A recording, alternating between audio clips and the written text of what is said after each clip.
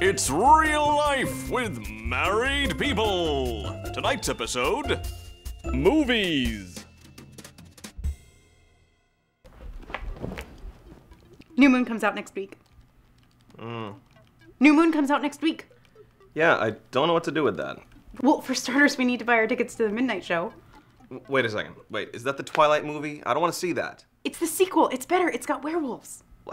Yeah, but I mean, isn't that whole series just about like teaching tweens not to have sex with sparkly vampires? I mean, that's like four things you hate right in a row. Look, I'm not stupid. Okay, intellectually, I know that it's cheesy teenage abstinence propaganda, but I don't care because I'm a lady. And as a lady, sometimes I enjoy a story about a really hot guy who does incredibly romantic things for the woman he loves.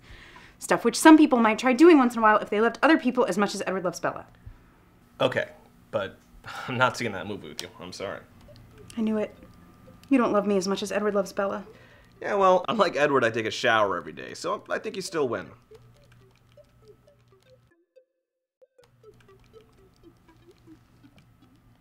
This has been another exciting episode of Real Life with Married People.